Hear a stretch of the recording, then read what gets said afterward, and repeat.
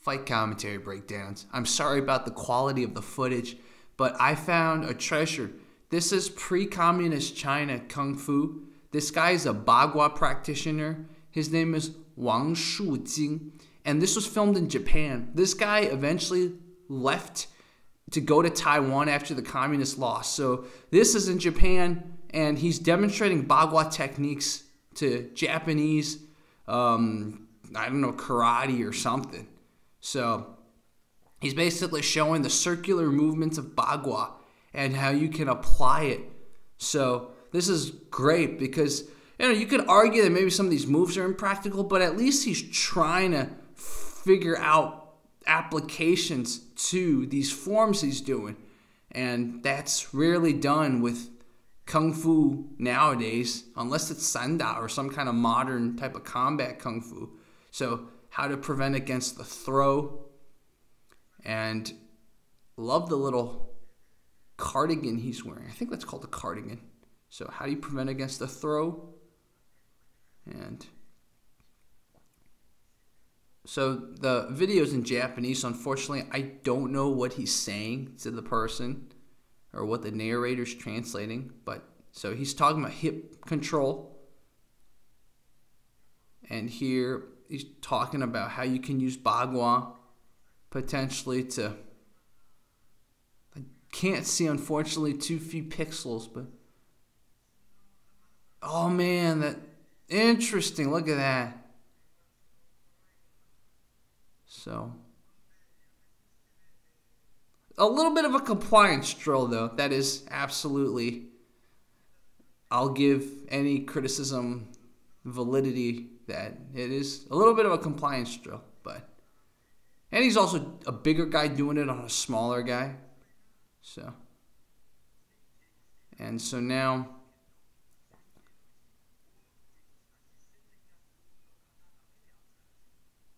Actually, Maybe this is not Bagua.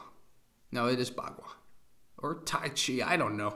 Honestly, some kind of kung fu from before the they got kind of dumbed down and washed down. So I guess this would be a taolu or a form or a kata. And I think that's about it, man. So big shout out to this channel, Xuanmen Wusuo by Yunfeng. Let's check out the channel really quickly to see if he has any other things. Oh, so this is a channel all on Kung Fu. And I could be wrong. That might have been Bajiquan. I don't know. Or Xing Yi. So that could have been Xingyi or Bagua or Baji. There is more. So this time in, it's Taiwan. So this is probably after his Japanese demonstration. Look at that. He's showing little locks. This is definitely Bagua. This is definitely Bagua. Wow, dude, this is amazing. This is the kung fu that's lost nowadays. So, again, there is a bit of compliance drill to this, but we're going to do some research on this guy. So,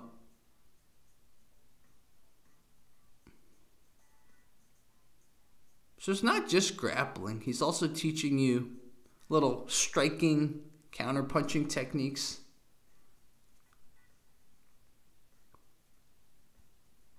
Mm, little palm technique.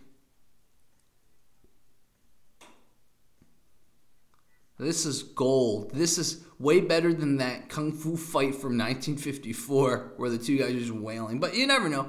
When you test this guy in combat, maybe he would be wailing too. None of these locks small joint manipulations or anything would work. So, compared to the Japanese guy in the previous one, this American gweilo is much taller, more reach, but he's still, I think, size wise, as in mass wise, maybe a little um, smaller. And I think there's another gweilo, there's another American. Yeah, that was definitely too much of a compliance right there. Flipping like that, yeah, too much compliance. But Remember that old man that we saw that showed off some of those moves? This is very reminiscent of that. I wonder if this is the same guy. This guy's name is Wang Shujin. Wang and Shu as in tree, Jing as in Kim or gold, basically. So Wang Shujin is his name. And interesting. So his iron belly or whatever, that's where his chi is, right?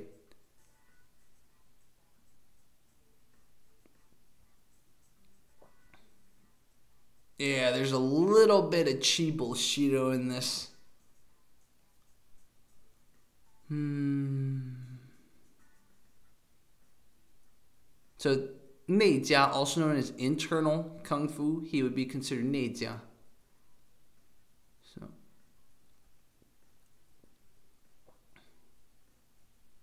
Man, this is fascinating. So this guy, his channel is all about Chinese culture, Chinese intelligence, Chinese battle strategy, Chinese skills. So he just wants to be the video platform for it. So what he's saying is real martial arts are intelligent and it should be tested scientifically. So it seems from here this guy is just a kung fu fanatic. That's all we know. And all his videos. Oh, look at that. There is Tai Chi stuff. This is a gem. We're definitely going to look at more stuff on his channel. Look at all of this. Okay, we found a channel to examine more.